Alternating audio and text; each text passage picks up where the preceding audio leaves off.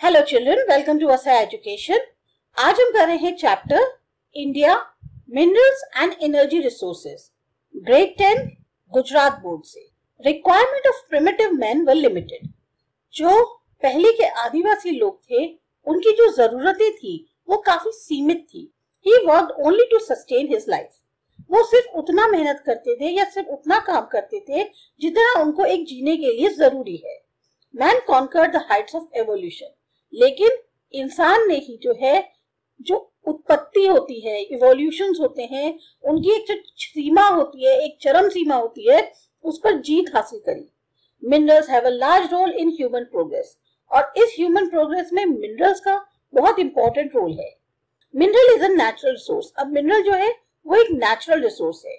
The human evolution process is divided into various ages such as Stone Age, Bronze Age, Iron Age and modern age that is Atomic Age. जो इंसान की उत्पत्ति की प्रक्रिया थी, इसको अलग अलग स्टेजेस में बांटा गया है, जैसे कि stone age bronze age iron age और फिर आई मॉडर्न एज जिसमें हम कहते हैं एटॉमिक एज है in stone age man use stones for hunting but now he is travelling into space एक वो जमाना था जब हम पाषाण युग कहते हैं स्टोन एज थी, तब इंसान जो है, वो शिकार करने के लिए भी पत्थरों का इस्तेमाल करता था लेकिन आज इतनी तरक्की हो चुकी है कि इंसान स्पेस तक ट्रैवल कर रहा है। Man's relation with minerals is very old and strong जो इंसान का रिश्ता है मिनरल के साथ, वो बहुत पुराना है और काफ़ी मज़बूत भी है। Today minerals are considered to be the backbone of economic development of any nation minerals जो हैं, उनको एक तरह से बैकबोन समझा जाता है। किसी भी नेशन की जो आर्थिक तरक्की होती है, विकास होता है, उसमें मिनरल्स जो है, वो बहुत इंपॉर्टेंट रखते हैं। US and Russia have world powers only due to proper use of minerals और यूएस और रशिया इसी वजह से वर्ल्ड पावर बन पाए, क्योंकि उन्होंने जो मिनरल्स थे, उनका सही तरीके से इस्तेमाल किया। Both countries are rich in variety of minerals and prosperity दोनों ही कंट्रीज़ में बहुत अलग अलग तरीके के मिनरल्स अवेलेबल हैं, और शायद इसी वजह से वो काफ़ी ज़्यादा संपन्न है। Even though our country has a potential huge reserves of minerals a long term dependence and absence of technical knowledge resulted in less economic development. कहने को हमारी कंट्री में भी बहुत सारे मिनरल्स की अवेलेबिलिटी है।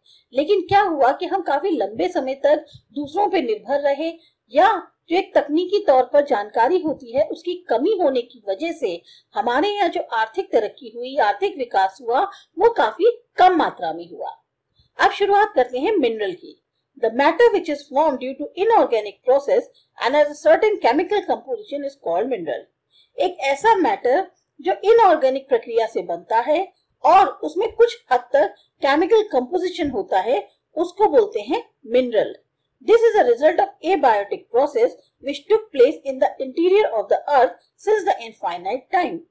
ये जो है abiotic process जो है, उसकी प्रक्रिया का नतीजा है जो कि धरती की सतह के अंदर होता है और काफ़ी लंबे समय तक मतलब आप उस समय को कैलकुलेट भी नहीं कर सकते, इतने पहले से उसके अंदर धरती की जो प्रक्रिया हो रही होती है, उसका नतीजा होता है कि मिनरल्स बनते हैं। द सॉलिड लिक्विड और gaseous matter which is form due to specific abiotic process within the rocks in the interior of the earth has a certain chemical composition and homogeneous constitution and specific atomic structure is called mineral अब ये एक तरह से आपको एक definition दी गई है कि चाहे सॉलिड हो लिक्विड हो या गैशियस स्टेट में कोई भी मैटर हो, अगर वो जो है एबायोटिक प्रोसेस से खास तौर से एबायोटिक प्रोसेस से बनता है, जो उन रॉक्स की वजह से, जो कि अर्थ के अंदर होती हैं, उनका एक खास केमिकल कंपोजिशन होता है, उनका एक होमोजीनियस कॉन्स्टिट्यूशन होता है मतलब जो उनका एक बना हुआ ठोस आकार है वो जिस तरीके का होता है उनका एक खास तौर का स्पेसिफिक एटॉमिक स्ट्रक्चर होता है उसको हम जो है मिनरल कहते हैं। Iron manganese gold silver are solid minerals iron है मैग्नीज गोल्ड सिल्वर ये सब सॉलिड मिनरल्स में आते हैं। Mercury petroleum etcetera are liquid minerals and natural gas is included in gaseous mineral Mercury, petroleum ये सब लिक्विड मिनरल्स हैं और जो प्राकृतिक तौर पे गैस अवेलेबल है उसे हम गैशियस मिनरल कहते हैं। The type of mineral that are available from the interior of the earth depends on how the crust of the earth originated.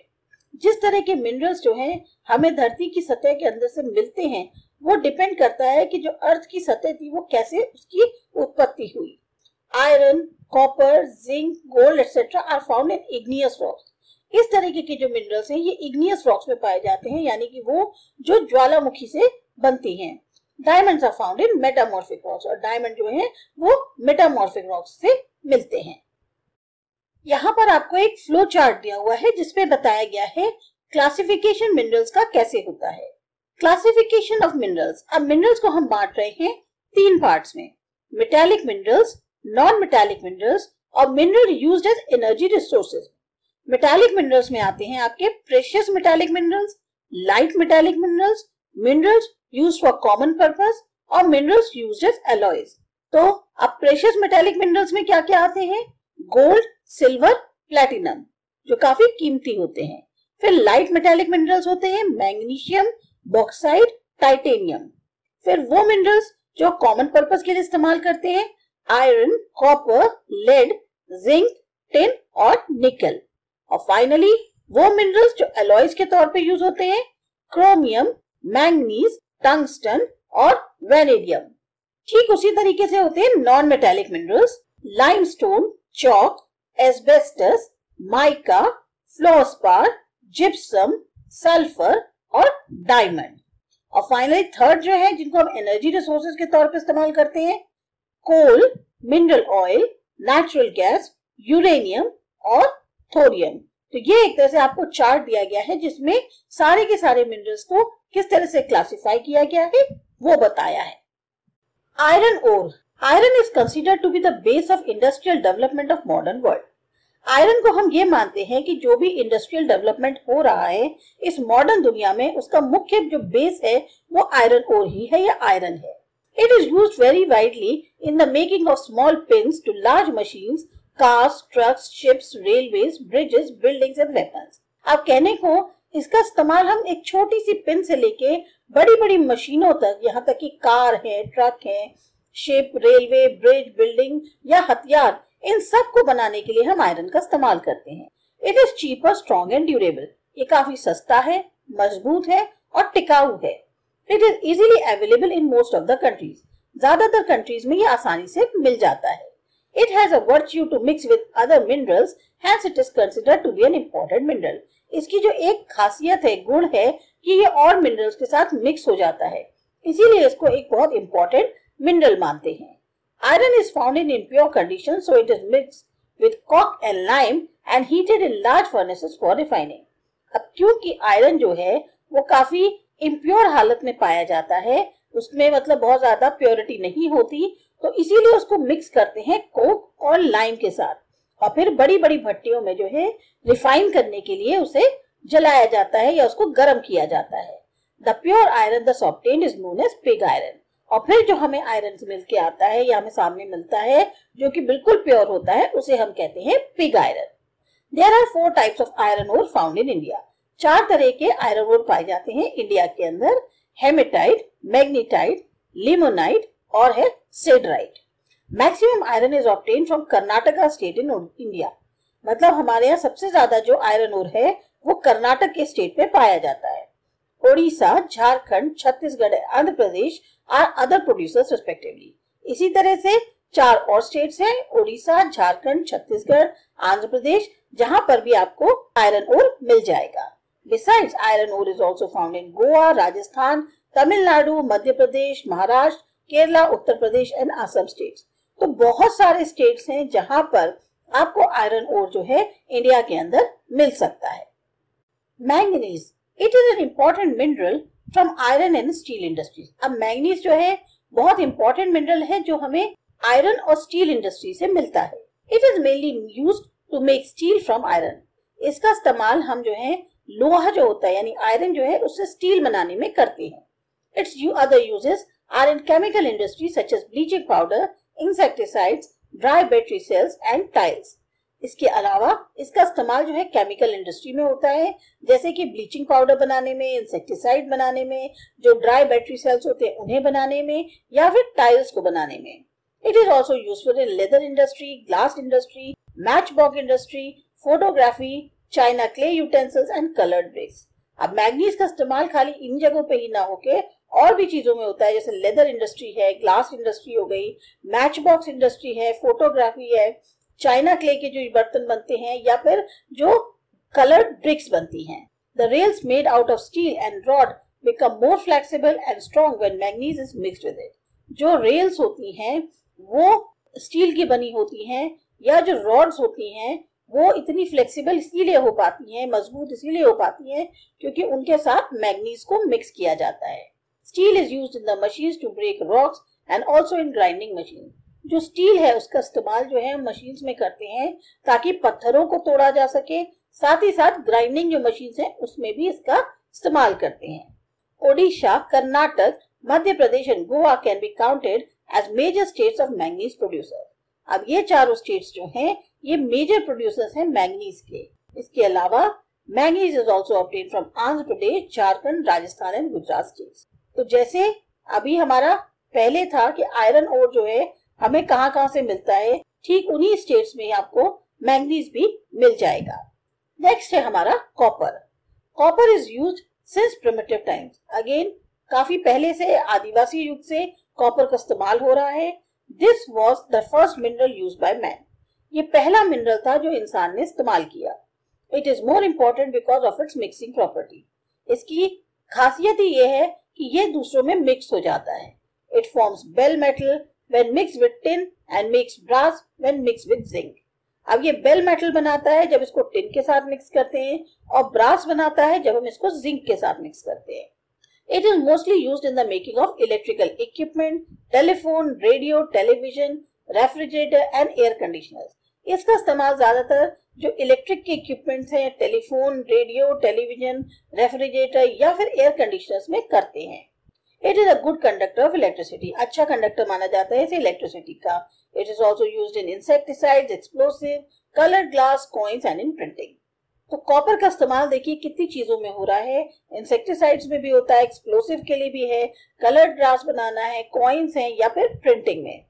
Copper is mainly produce mainly by Jharkhand Madhya Pradesh Rajasthan states in India अब झारखंड, मध्य प्रदेश और Rajasthan main important states हैं, जहाँ copper produce होता है। Sikkim and Andhra Pradesh also produce Sikkim और आंध्र प्रदेश में भी होता है।